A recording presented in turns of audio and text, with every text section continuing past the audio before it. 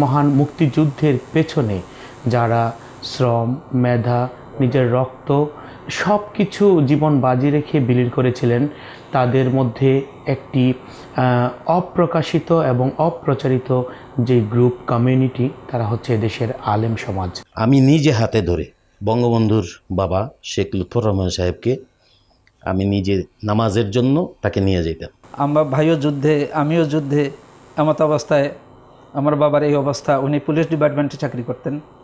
তো উনি এসে মুক্তিযুদ্ধে শরিক হয়েছিলেন। স্বাধীনতার আগে বঙ্গবন্ধুর জন্য রোজা রাখত মহিলারা। স্বাধীনতার পরেও আমাদের ফ্যামিলিতে বঙ্গবন্ধুর নামে আমরা কোরবানি দিতাম। এই দিগনগরের ব্রিজের এখানে যখন এই ব্রিজটা উড়িয়ে দিল মুক্তিযোদ্ধারা, ওই অঞ্চলের থেকেই তারা এলাকায় এলাকায় প্রত্যেক গ্রামে গ্রামে, তারা তো মুক্তি পাক বাহিনীরা তো ইয়া চিনত না। এই রাজাকাররাই তারা নিয়ে যেত যে অমুক অমুক জায়গায়, অমুক অমুক জায়গায়। এইখানে নিয়ে গিয়ে গিয়ে বাড়িঘরগুলি জ্বালিয়ে দিত।